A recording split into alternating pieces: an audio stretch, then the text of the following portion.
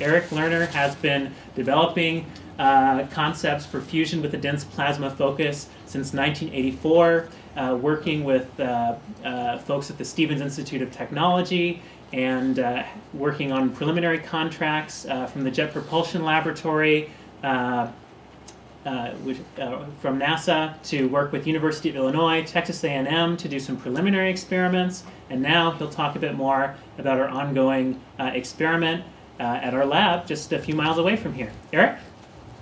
Thanks, Derek. Uh, yeah, well, what I'm talking about is what we call focus fusion, which we see as the fastest way to cheap, clean, inexhaustible energy. So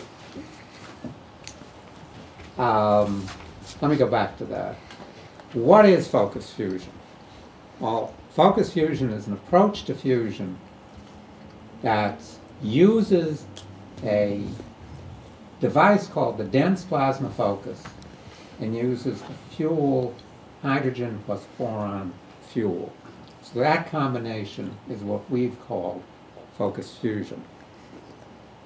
Now, what we're doing um, is trying in approximately the next eight months to a year, in the course of 2011, to demonstrate the scientific feasibility of this approach, to demonstrate that we can get enough energy out relative to the energy we put in that feasible engineering solutions could give us net energy production.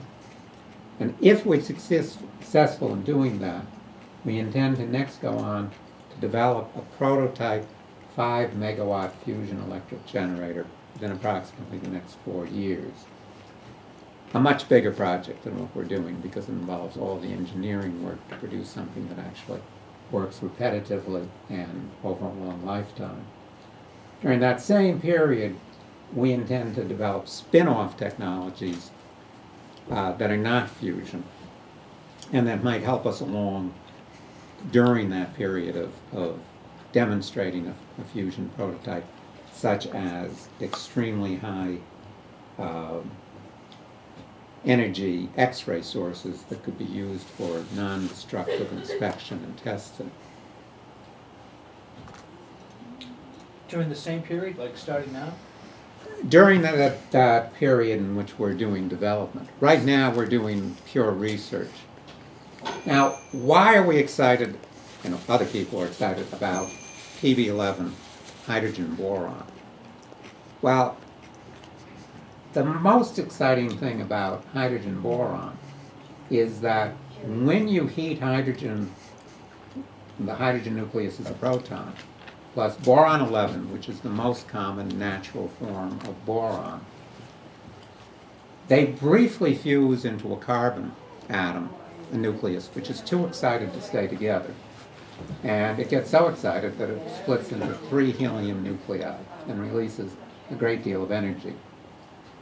The significant thing about this is that these are all charged particles that are released. In the main reaction, this is the main reaction, excuse me, there are no neutrons released. So what does that mean? It means that we can since charged particles in motion is electricity, that's what electricity is, we can use direct conversion, which I'll talk about in a moment, to produce electricity. That's different than what we've been doing since Edison. Because since Edison, we've been using a heat source to boil water, to produce steam, to turn a turbine, to turn a generator.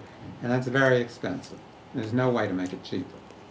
So this way could potentially lead to a tenfold reduction in the cost of generating electricity below the cheapest source now, which happens to be coal. Um, we have an abundant fuel. This is nuclear energy, so a small amount of fuel goes a long way.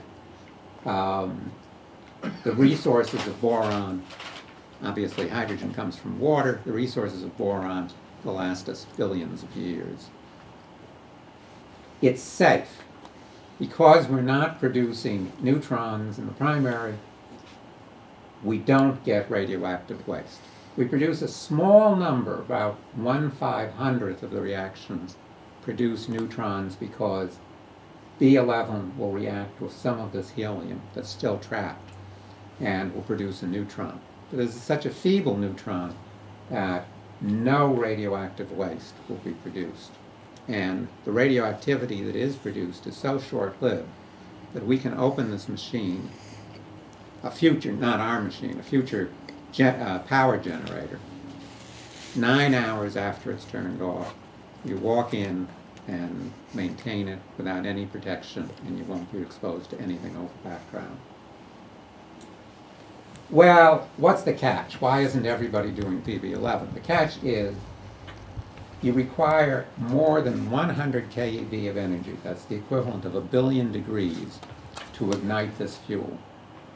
That's more, that's 100 times the temperature in the center of the sun.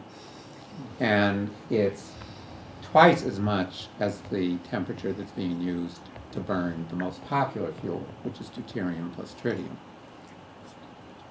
You also get a high X-ray emission, because X-ray emission is proportional to the sec, uh, to the square of the number of charges. So boron emits X-ray radiation 25 times faster than the isotopes of helium. And that tends to cool down your plasma. So this has discouraged people. But we feel that we've found ways to get around both of those problems. now, this is sort of an artist's conception of what the core of a generator would look like. Um, but before I get to this, actually, this would be a good time to explain what this device is, the plasma focus. We made a little animation with the help of uh, Torf Greek, who lives in Norway. Okay.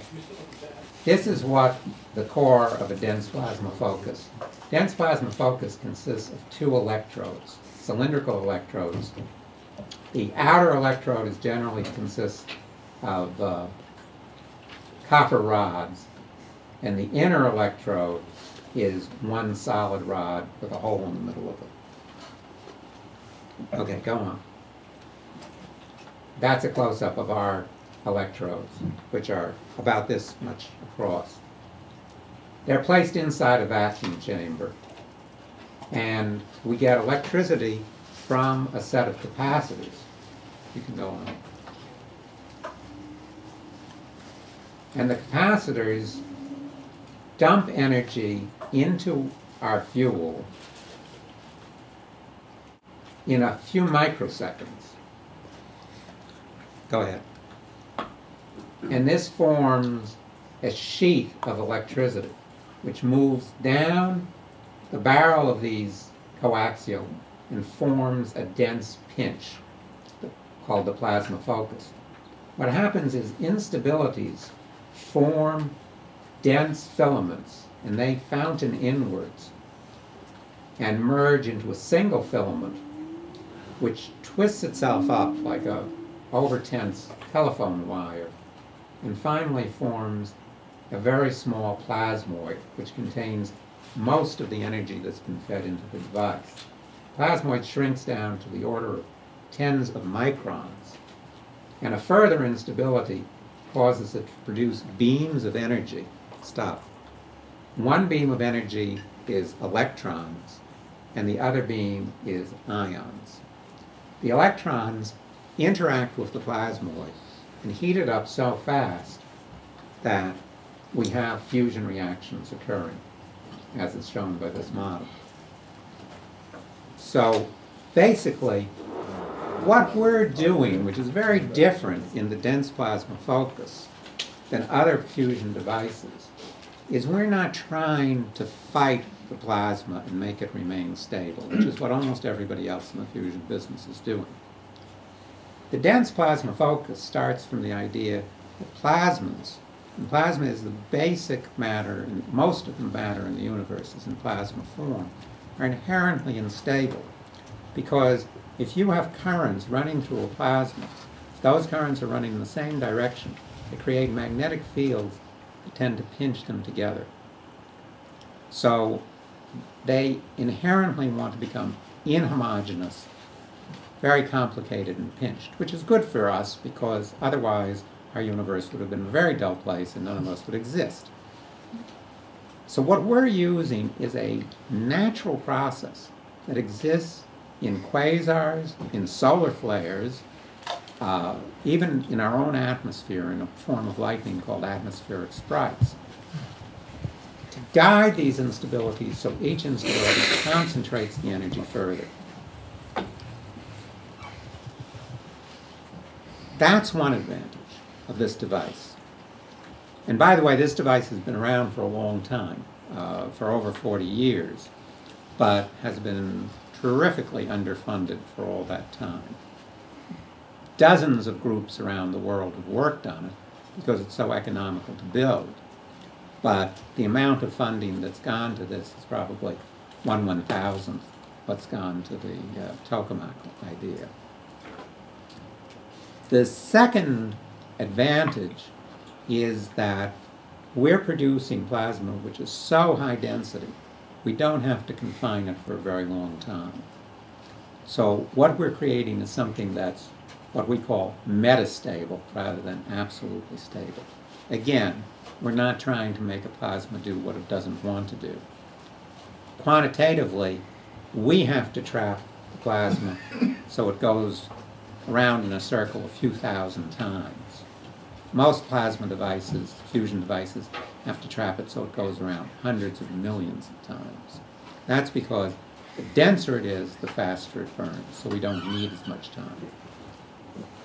Just to give you some idea of what we mean by direct conversion, these are ideas that we patented uh, a while ago in the United States and we're trying to patent in other parts of the world. The energy comes out in two forms. One is the form of a dense beam of ions. This has been observed by us and by many other observers. This pulsed beam of ions can actually be trapped, this is a simplification, in a series of coils, high-tech sort of transformer, that captures the energy in a wire and feeds it to a set of capacitors that will store it. Part of that energy will go back to the next firing cycle, and part of it will be leaked out to the grid where it will be converted to AC. Another part of the energy comes out as an intense X-ray burst. And that's going to be absorbed in this rather complicated onion-like affair, which is a multi-layered photoelectric device. We can make it very multi-layered and very high efficiency because it's so small. This whole region here is less than a few feet across.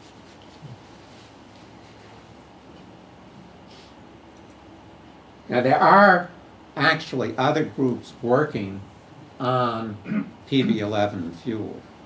As far as we know, they're all in the United, the other two groups are both in the United States.